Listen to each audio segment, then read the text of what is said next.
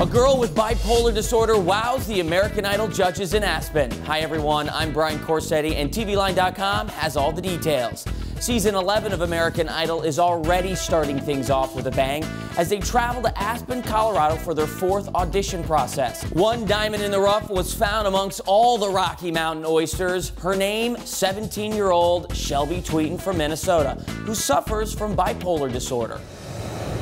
I was diagnosed bipolar in March, but I've been struggling with depression since fourth grade. There's been times where I've had hypomanic episodes. I'll be shaking, I will stutter, I can't control my body, and my mom will be like, well, let's sing together.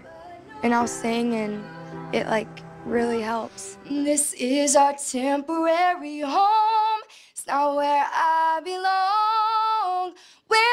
and rooms that we're passing through.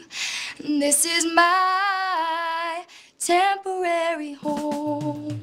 She's a girl with a dream who sang Temporary Home by Carrie Underwood, but I know what you Idol fans are thinking. What did the judges think? So beautiful, so pretty. Beautiful. Wow. Dude, you're good to go because you're fearless as a singer, so I love that. Big yes, 100% Big yes. yes. Yes, big, huge yes. You're going to Hollywood, baby. Congratulations, Shelby. We will be seeing you on the next round of Idol. Now, the judges handed out nine golden tickets and all, including Jaren Jackson, who sang an original song. Tell me, baby, are we in this together? Supposed to be my friend through the stormy weather. And a Lady Gaga wannabe, Angie Zeiderman. She gave judges her version of If You Got It, Flaunt It, which turned into some performance breakdance routine. Whoa. Something you'll never catch me doing. Now, if you want to see more of the Idol auditions, make sure to tune in tonight at 8 p.m. as they head off to Galveston, Texas. Did you like Shelby's performance and do you think she has what it takes to be the next American Idol?